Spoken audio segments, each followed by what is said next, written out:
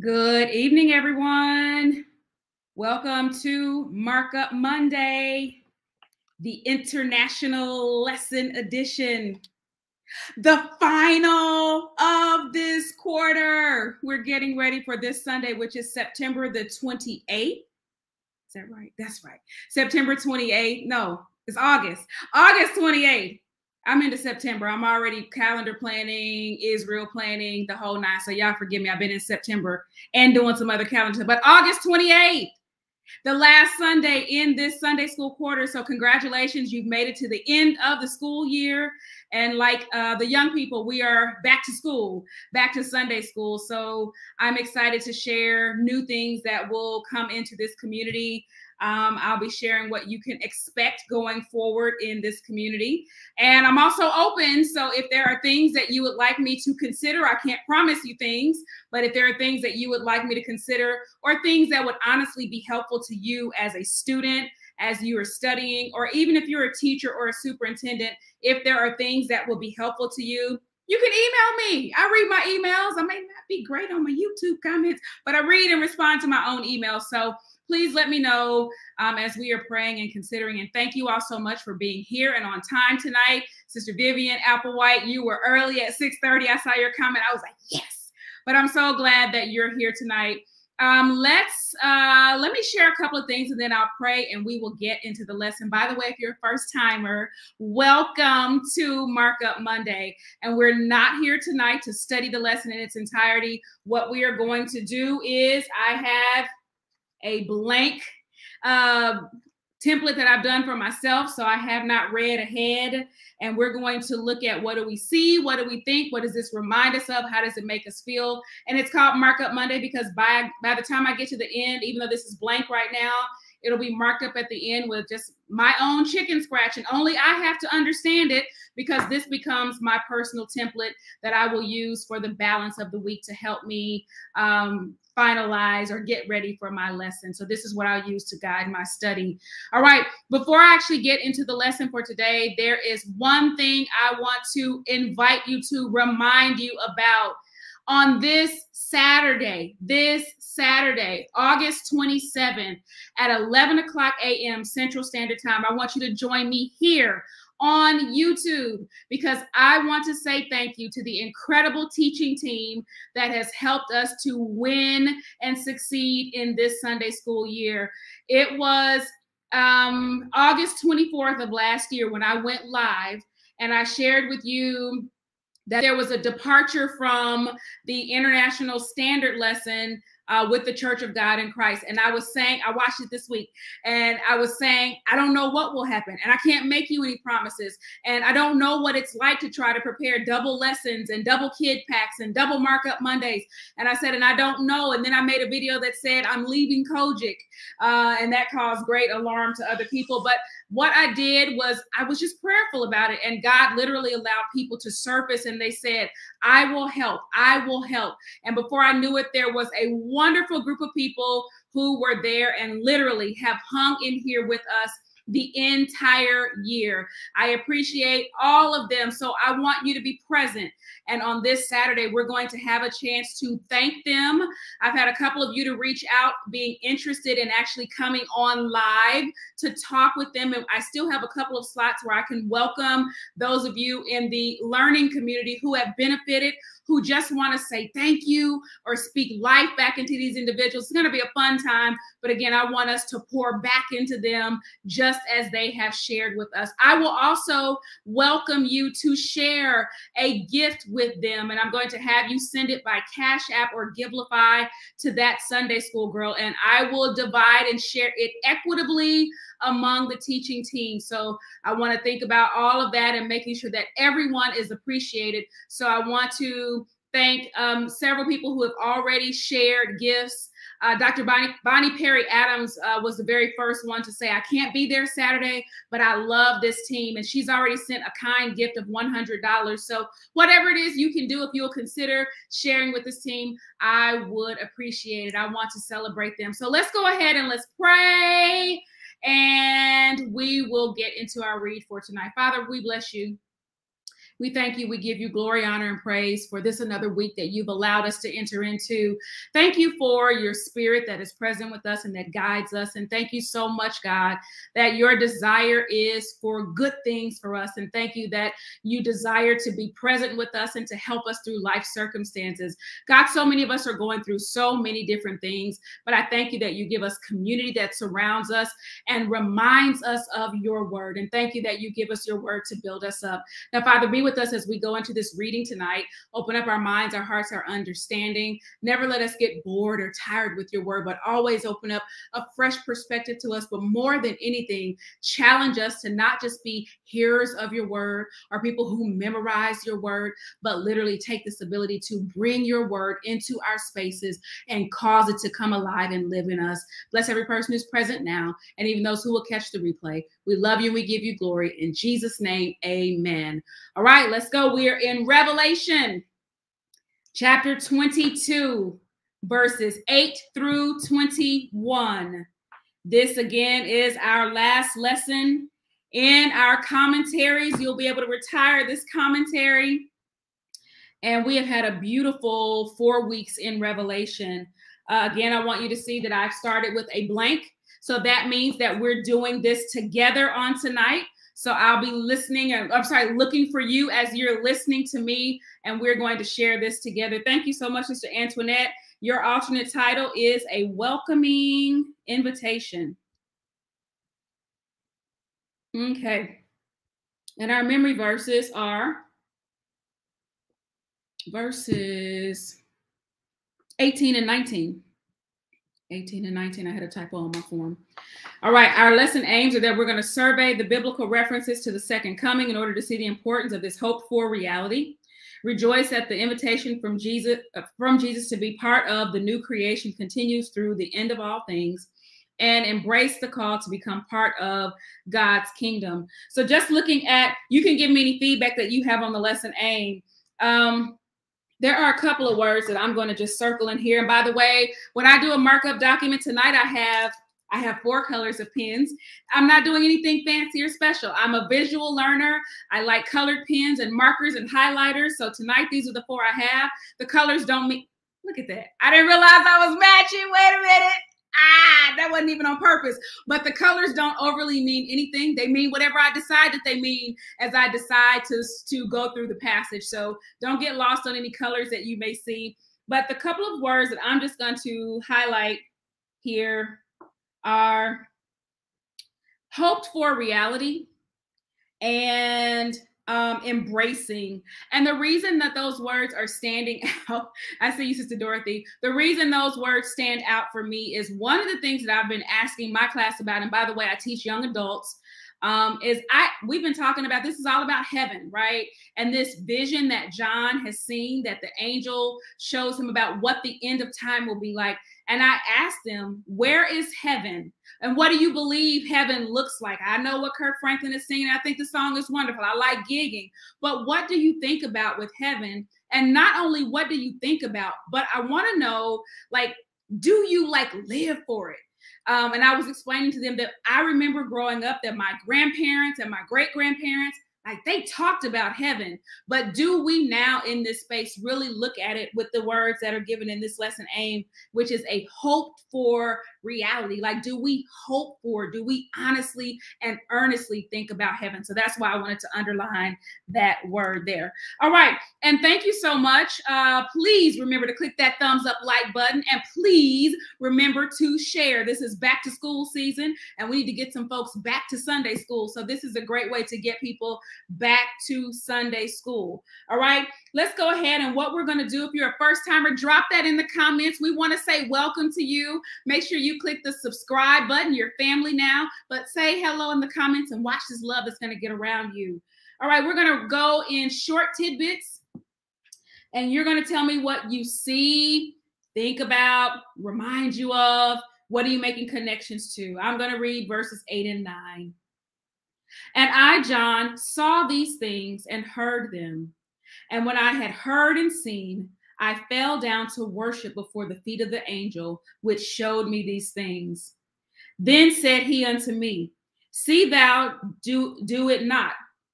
I am a fellow, I am thy fellow servant, and thy brethren the prophets, and of them which keep the sayings of this book worship God. Let me keep reading. I haven't read it all. And he said unto me, Seal not the sayings of this prophecy of this book, for the time is at hand. And he that is unjust, let him be unjust still. And he which is filthy, let him be filthy still. And he that is righteous, let him be righteous still. And he that is holy, let him be holy still. And behold, I come quickly, and my reward is with me to give every man according as his work shall be. I am Alpha and Omega, the beginning and the ending, the first and the last. Blessed are they that do his commandments, that they may have right to the tree of life and may enter through the gates into the city. For without are dogs and sorcerers and whoremongers and murderers and idolaters and whoever whosoever loveth and make it a lie. I, Jesus, have sent mine angel to testify unto you these things in the churches. I am the root and the offspring of David and the bright and morning star. And the Spirit and the bride say, Come. And let him that heareth say, Come. And let him that is athirst come. And whosoever will, let him take the water of life freely. For I testify unto every man that heareth the words of the prophecy of this book. If any man shall add unto these things, God shall add unto him the plagues that are written in this book. And if any man shall take away the words of the book of this prophecy, God shall take away his part out of the book of life and out of the holy city from the things which are written in this book. He which testifieth these things saith, Surely I come quickly. Amen. Even so, Lord Jesus. E- even so, come, Lord Jesus. The grace of our Lord Jesus Christ be with you all. Amen. That was the entire reading. And we should have plenty of background. Let me slow down. Normally we start with background, but this is week number four. So you know your background. You know that this is John. This is the last book in uh, the last chapter in the book of Revelation. We know that from yesterday's lesson. This is the final portion. We stopped yesterday at verse seven. Today we pick up at 21 and we continue on. So as we go here, um, even looking at the title, the two titles that we have, uh, let me do a quick reflection and you can tell me what you think on the titles. One is come and enjoy. The other is a welcoming invitation. So the first connection that I make is nobody is beating you over the head to accept this. Nobody is going to beat you down and say, you got to go to heaven. I love the idea because an invitation has the ability to be accepted or to decline. When you think about any invitation you send out for an event, people either accept or they will send their regrets. So yes, Sister Joanne, this book is an op- is open and the choice is yours. You can read it and accept it, believe it, or you can read it and deny it, but the book is open. God is not keeping anything on the down low, and it is not a secret. Yes, Pastor Sandra, this is a choice. Sister Joanne, it is not concealed. Sister Antoinette, submit your RSVP ASAP. Absolutely. So we have a choice in the matter. And I think that that is beautiful. Like God honors choice. So never mind. I was about to start teaching. That's not what we're doing tonight. He honors our choices. And I believe that. Um, I've been having a lot of conversations about choices, right? And that's what life is. The choice is heaven or hell. When we're making our choices every day, we make choices in light of what we believe about what we read in passages like this. All right, verses 8 and 9. Our forefathers, Sister Prelo says, stood in fear of reading Revelation, word the word should open your eyes. The word should yes it should open our eyes and our understanding and it should inform the ways that we behave. When your eyes are open and your understanding is enlightened it should inform the ways that you behave. I believe that. Verses 8 and 9 and i john saw these things and heard them. And when i had heard and seen i fell down to worship before the feet of the angel which showed me these things. Then saith he unto me see thou do it not for I am thy fellow servant and thy brethren of the brethren, the prophets, and of them which keep the sayings of this book, worship God. All right. No, Brother Aaron, I am not going to go ahead and do it so that y'all can have ice cream tonight. Nope, not going to do it. What do you see in verses eight and nine? What is jumping out at you at verses eight and nine? And I'm watching tonight. I'm using StreamYard, so I know that you all are just a few seconds behind me. So I'm going to pause and give this just a little bit of time here while I'm watching. All right, let's see what you're saying. Yes, John, Fitness and More, was selected to see this he identifies himself. So when we looked at like who was the author of this book, how did we know that John was the author? I think in my my notes yesterday, I, I mentioned that four times. He identifies that it's me, John. So uh, we have the identification that it's John who was given insight. And what does this make me think about? It takes me back to the very like back to my background statements that John who was banished to the Isle of Patmos, who was like sent away so that he wouldn't be by people, so that he couldn't preach. Like God honored him by choosing him to show him this vision. And I mentioned that in yesterday's lesson with my class that that seems like that's a huge thing to me that God chose him for this kind of very special assignment. He's the only disciple not to die from murder, I believe. Brother Aaron, thank you for that interesting tidbit. Um, uh, yes, remember to view what John saw and heard. Fitness and More wants to know why, out of all the people in all the world that God could have chosen, why would he have chosen John? I like that reflection there. Uh, Sister Crystal says that John has experienced a reality he's seeing and hearing, and he gets corrected again. Absolutely. Uh, you have been okay. I'm back. I'm back at the invitation pieces. Um, John is corrected for the second time, Sister Crystal. Thank you for that. And you'll want to figure out when was the first time he was corrected. All right. So here I'm going to call this a response. John says that I saw these things and I heard them. Remember, Revelation is a sensory book. There's a lot going on. I described it like a movie scene. Oh my goodness. Now the angel shows me this, the angel shows me that. He's saying that I've seen and I heard these things. And when I did this, there was a reaction. I'm going to identify a reaction here. His reaction was that he did two things I fell down and I worshiped. And he was offering, the angel was the object of his worship. This automatically tells me that I need to think about mm, how do I want to say this? The thoughtfulness that we put into where we direct our worship. Uh-huh. This I'm a little quieter when I have to write and talk because that's that whole like patting your stomach and patting your head and rubbing your stomach. I can't talk and type. I can't write and type. Okay. But y'all like it when I do it this way. So here we go. But the direction of his worship. The first time fitness and more, the correction is in the first time is in Daniel is what Fitness and More says. Uh, yes, reacts to his experience, Sister Crystal. And I guess when I think about this, like there are some things that happen and they are so overwhelming. Like what?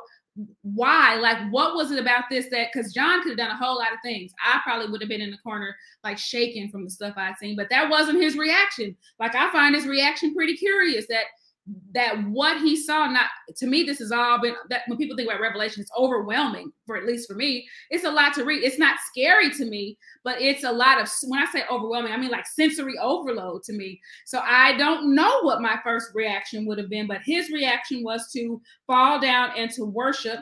He postures himself beneath the angel at the feet of the angel.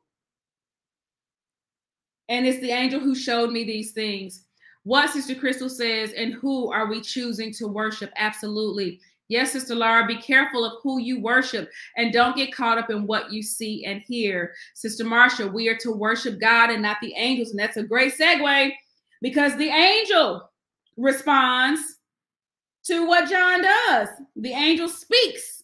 His response is spoken. And his response is, hey, hold up, friend. Don't do all that. I, I, I, that's his response. At, at, at, A-H-T apostrophe. A-H-T apostrophe.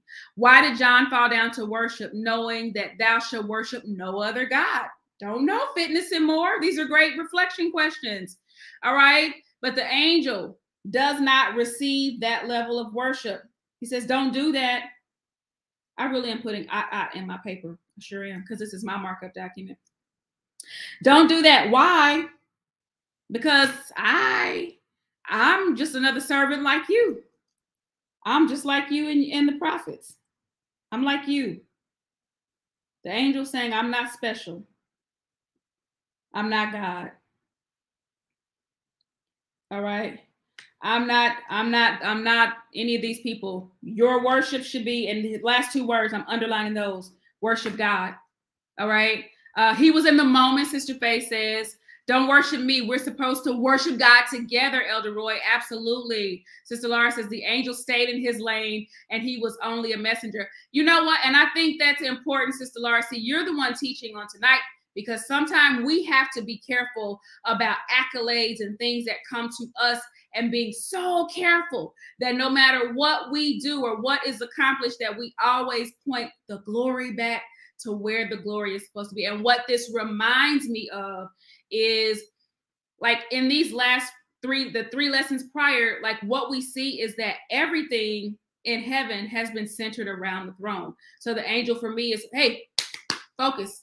Let's get back to where where the focus really is and the focus belongs on the throne. You have to be careful uh, sister joanne allen says not to give man god's credit. Love that the angel recognizes who he is and his position absolutely hey sister carolyn glad you're here to god be the glory i'm glad for your input uh god gets the glory yes to god be the glory like in, in whatever's going on, whatever's going on in here, whatever experience you've had, however you feel about it, TGBTG. To God be the glory. Thank you, Sister Carolyn. All right. Um, let's go to verses 10 and 11. 10 and 11. I'm moving on. I think we kind of carved the meat off that bone. And he said unto me, Seal not the sayings of the prophecy of this book, for the time is at hand. He that is unjust, let him be unjust still. He which is filthy, let him be filthy still. He that is righteous, let him be righteous still. He that is holy, let him be holy still. All right, let's see what you're saying. The angel, I see a command here. Seal not is an imperative. And when I say an imperative, he is telling John what to do. There's not a survey. Hey, John, you think we should keep this book open or not? I mean, what do you think? I mean, because it's been a whole lot. You think we, no, he's giving him an imperative. Do not seal up the words of this prophecy. Uh, what does that mean to seal up? To me, I just think it means close up to where no one else can access it.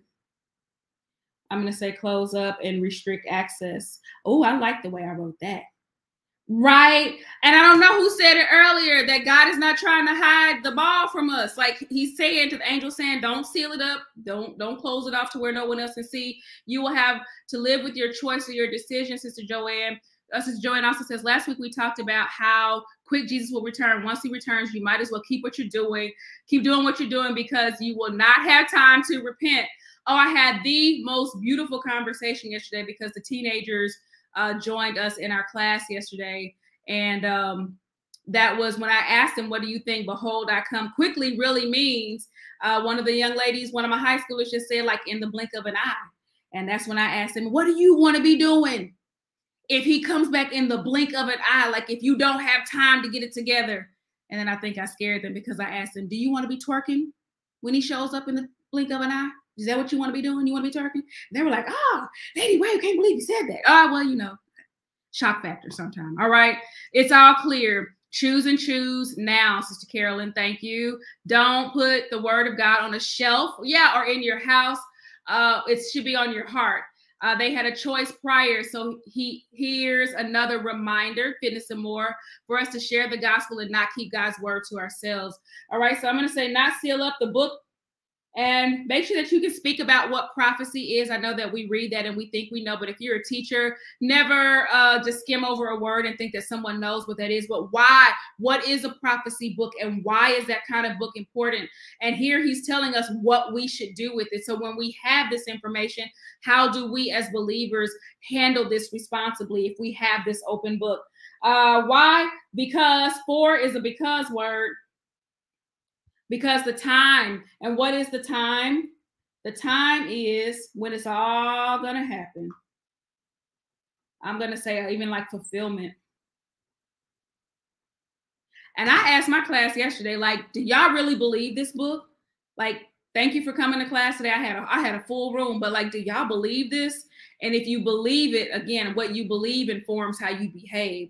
And the time is coming. It's going to be fulfilled. The time is at hand. And yesterday, what this reminds me of, because we're continuing on from yesterday's passage, that the time is not about a schedule or a calendar. It's like the quickness with which he's going to come. The time is at hand. He that is unjust, let him be unjust still. So whoever's doing wrong, whoever's doing whoever's doing wrong, keep doing that. Whoever's doing whoever's righteous will still be righteous at that time. So that I think this is kind of for me, it's speaking to what will happen in that moment. The time is at hand. That quickness is coming. And I think someone said it earlier. If you've been doing wrong at that point, there's no time to get it right. So I'm going to write down the word urgency. Like verse 11 for me is all about urgency. It also makes me think about like one of the things I was sharing yesterday is like this idea of even consistency in our living because we don't have this time to rush and get it right when he's coming quickly. There for me is this sense of urgency to get right and to stay right and to think you know, like consciously every day about how we're living. Uh, Pastor Sandra says, It is truth uh, to you, or do you think it's a fairy tale? How you believe is how you behave. That is powerful. Absolutely. And Sister Marcia, yes, we have this opportunity to, the vision is not closed off. What's going to happen is not closed. Sister Crystal says there is no time for last minute repentance, but the time is now. Absolutely. Sister Dawson, want to actively do the work that we have been assigned. Sister Joanne, stop taking for granted that you will have time. Absolutely. You all are saying some great stuff. Please pay attention in the comments. Let me keep moving. It's 727. What am I doing tonight? Having too much fun. 12 and 13, and behold, I come quickly, and my reward is with me to give every man according to his work shall be, as his work shall be. I am Alpha and Omega, the beginning and the end, the first and the last. Uh, the first thing I see in verse 12 is repetition. Uh, is this repetition from verse 7 yesterday or verse 6? I think it's verse six yesterday. I'm going off the top of my head. It's either six or seven where Jesus is spoken and said, Behold, I come quickly. So that again is an urgency statement for me. And I'm going to circle the word reward. And I know that rewards can be positive or negative. I think everybody is going to get your reward. We have positive rewards and negative rewards. So think about what that means. What does it mean when he says, My reward is with me? And if you look I believe in other translations, uh, my is capitalized. So look at who is speaking when they reference my reward. Thank you, Sister Carolyn. Verse seven. So my reward is with me. What kind of reward do you want to receive? Reminds me of the song that we used to sing in my home church. What do you want the Lord to say? Uh-huh. What do you want him to say? What do you think your reward will be? He's going to, um, I'm going to say this in my writing here like I feel like rewards are given based on an assessment of performance, right? So right now it's making me think of when I was little, I took piano lessons. I started playing the piano at three, and Mrs. Lewis um, had something that she called a goodie box. And on days when I came to my lesson, when it was very clear that I had practiced, and that I was prepared for my lesson. At the end, I got to go in the goodie box, which was kind of like this white box from Macy's or somewhere, and it just had little stuff in it. And I got to choose, and that incented me to behave in a certain way. But on days that I didn't perform, it hurt me. She'd say, Today you didn't earn the goodie box. So that's what the reward just reminded me of. But every man, and I'm going to underline that every man as his work shall be. So every person, no exemptions that's what I'm seeing here. Let me see what you're saying. Repetition from last week, Pastor Sandra. Quickly, suddenly, he's coming. Be ready, be ready, be ready. Sister Joanne, why did he say in verse 13? Uh, why did he say verse 13 here in the middle of the passage? Why is this here? Why why are we getting this reminder again as he's closing out? Like there's this urgency. What determines our future? Uh, what we do now determines our future, Sister Kathy. Absolutely and only what you do for Christ will last, Sister Laura. But Elder Roy, get right and stay right. If you're not going to get right, get ready for the judgment spoken from this book. Absolutely. And I'm going to come back to these two words every man and his work. And one thing I keep sharing with folks is we are all going to have to stand and give an account for what we did in this uniform. I don't have to answer for anybody else. I have to speak truth, teach truth, teach truth, and live truth. But at the end, I have to give an account for my individual work, and everyone has to give an account for their individual work. Yes, Sister Carolyn, my reward is according to my deeds. This is why I tell people I spend a whole lot of time trying to do what? Mind my business. Because I'm just trying to keep Lady Way together. Waynell, just work on Waynell. Just, just try to do right, have a good attitude, my deeds. All right. When you choose to follow Jesus, he will reward you. Verse 13, I am the Alpha and Omega, the begin the first and the last, the beginning and the end. Um, for me, this just speaks to sort of for me, it's like always was and always will be. Um, so that's what I see at the beginning and the end. And maybe there's more for me to carve out. That's all I'm gonna, that's all I put in here for now. All right, let's keep going. Let's keep going. Sister Kathy says there are two groups: those who believe and those who do not. Those who believe and do, and those who reject and turn away. So we have a choice as to which group we're going to be in. Let me keep moving. Verses 14 and 15. Blessed are they that do His commandments, they that that they may have a right to the tree of life, and may enter in through the gates into the city. For without our dogs and sorcerers and whoremongers and murderers and idolaters and whoever loveth and maketh a lie. Woo! All right, hold on, because there's a lot going on in 14 and 15. Uh, blessed are they. Yesterday, verse, verse, sister, sister, sister Carolyn, get me straight. Is it six or seven? Where we got a blessed are they yesterday. I don't have my notes from yesterday, but blessed, there was a blessed statement there, which meant happy, kind of like the Beatitudes. Happy are the ones who hear the words of this book and plan to keep what it says. Here's that idea again for me. Happy are they that do, I'm going to circle the word do the commandments, not hear, not rehearse, not quote, but do. That's what I'm writing down. All right, entering through the gate, there is no other way but through the gate and through the gate, which is Jesus Christ. JJ Collier, thank you. Don't forget to like this video.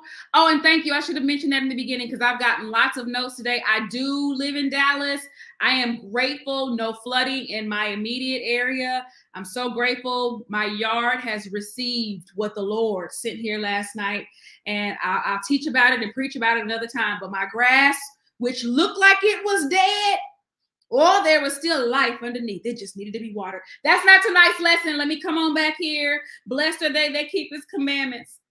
Uh thank you. Thank you, Sister Carolyn. Thank you, J.M. Jones. And thank you, Sister Dorothy. All right, we are all working on our own soul salvation by doing, Sister Dawson. Absolutely. Many are trying to find the way through others, Sister Joanne.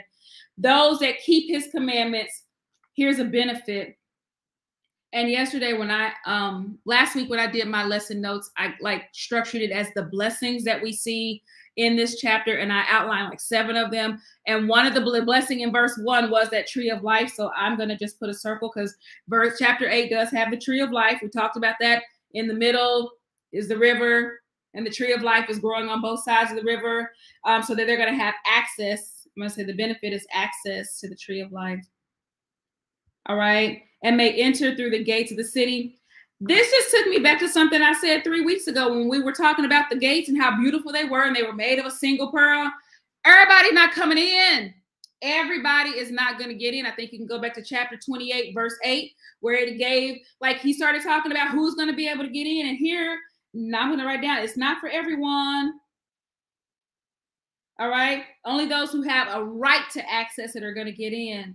Um, those who do not, um, there are some outside. I'm going to say for without is like outside. This is a list for me, another list of those who are going to be outside the gates. This ain't going to be a who left the gate open. Mm-mm. They're going to be some who are outside the gates. All right. Um, so those who keep his commandments will have an entrance and inference, an entrance and an inference. Only heirs get in, Pastor Sandra. Payday is coming. But look at this list and don't just like roll all over this list. Like literally look at what each one of those means. Who are the dogs? King James says the dogs. What does that mean? What are sorcerers? Make sure you can explain what these categories of peoples are. People are whoremongers. Oh, we just calling it all out, right? Murderers, idolaters, and liars. Those who love lies and those who make lies. That's two different kinds of people. I never really thought about people who lo- love lies. Ooh, I gotta think on that a little bit more. Let me keep moving. Better get lined up. Payday is coming after a while. All that stuff is left outside, Elder Roy. Absolutely. Thank you, Sister Carolyn. We're gonna get clarity on who, who let the dogs out. God. That's the answer. They sang a song, right? They said, Who let the dogs out? This is who left the dogs out. Who? God. They're not coming in. All right. But let's make sure we know who the dogs are. Let me keep going. Verse 16 in my Bible is titled The Final Invitation. I'm going to write that down here. I, Jesus, have sent mine angel to testify unto you these things in the churches. I am the root and the offspring of David, and the bright and morning star. And the Spirit and the bride say, Come. And let him that heareth say, Come. And let him that is athirst come. And whosoever will, let him take freely of uh, take of the water of life freely. All right. Speaker here is important for me. Clearly identified. Jesus. So if I'm talking about an invitation, I, I I asked my class about invitations and how we knew things were reliable yesterday, right? Because uh, we saw that these words of this prophecy are faithful and they're true. Um, but also, like when you get invitations, how do you decide whether you're going to accept? And the first answer was it depends on who issued it. So right now I'm thinking about who issued this invitation. I Jesus. That's a good one. That's a good invitation. All right. No one will be able to say I didn't know or I didn't get the information. Yes, Sister Joanne, Jesus is talking. Sister Crystal, yes. And he said, I I love this. Like I feel right now the love of God when I always say he is not trying to hide the ball. This is not some game of chicken or chance. I sent my angel to tell you what you needed to know. Like I see that. And for me, that is always this reminder that God loves us enough that He is giving us information and chance, right? You have information and this thing that we have called time. I know this is ice cream, but I promise you, it's just, it just is how I feel. The invitation is ours to assess and respond to and time is that opportunity to conform, to make sure that we qualify for those who have a right to the tree of life. That's how I feel. It's an invitation. And a final warning, Sister Marcy. Remember the song at the gate. Oh, I don't know that one, Sister Dawson, at the gate. I know I got to find that one. But the final invitation and the warning that I have sent my angel, that's the good stuff. And he says, I am the root of David. And you can look at what all these titles mean. What does that mean that he's the root? A root is where um, something gets like its source of life from. It's kind of like my yard out there. It looked real bad on top. It looked like hay out there, but the roots, the roots got some water, right? So the root is what I think about being the source of like where life is. Um, that offspring of David is important, I believe, prophetically, and the bright and morning star. I never really asked what the bright and the morning star meant, but in the context of reading it now, it is sort of reminding me that there's no more sun. Wasn't that what we read? Because he is the source of light. All right, let me see what else you said. Foundation of life. How is the invitation given? Decoration, context of the invitation, what's included? Sister Ruthie says it reminds me of how the children of Israel were given many opportunities to obey God. Oh, I like the psalm list this week, Sister Dorothy. I'm gonna have to remember some of these. Thank you. Let me go to 18 and 19. For I testify unto every man that heareth the words of the prophecy of this book. If any man shall add unto these things, God shall add to him the plagues that are written in the book. And if any man shall take away from the words of this book of this pro- of this prophecy, God shall take away part of the part out of the book of life God shall take away his part out of the book of life and out of the holy city and from the things which are written in this book. All right, this here comes the warning part for me. The first part was all warm and fuzzy. That last two verses, that was a warm and fuzzy invitation. That that really was. That was all these like before. There's the spirit and the bride are saying, "Come." There was come one, come two, come and drink freely. That was so beautiful. Now we got these who have to receive this warning. Warning. Uh, this is one who hears this book of this prophecy and attempts to manipulate it. That's how I'm going to categorize that. Adding is a manipulation, taking away is a manipulation. That for me tells me God doesn't need our help. Like whatever's been given here is complete, is accurate. It doesn't need our human interaction. It's best to tell all the people, tell people, all the people, Sister Joanne, the truth. Absolutely. Pastor Sandra said, We shared this Sunday. God has shown us by foreshadowing everything coming since Genesis. No secrets. You know what's coming. If you do the book, then you get to decide. I love that. Yes, Sister Verlinda, this is a warning that this is not to be altered. I'm not even going to keep going into that. I mean, that's pretty much what it's saying that this does not need to be altered. Um, and if it is, here is what will happen God is going to take an action, verse 19. If this happens, then here's what's going to happen. That's what's happening in verse 19. That if you do manipulate the book of this prophecy, then God is going to manipulate your name out of the book. You won't be there. So this these is this feels like a very a strong consequence is what I'm going to say. That's a strong consequence. Because everything and everyone outside of the gate, it's, it's not good. Let's keep going. Verses 20 and 21, and we're at the end. He which testifieth these things, saying, saith, Surely I come quickly. Amen.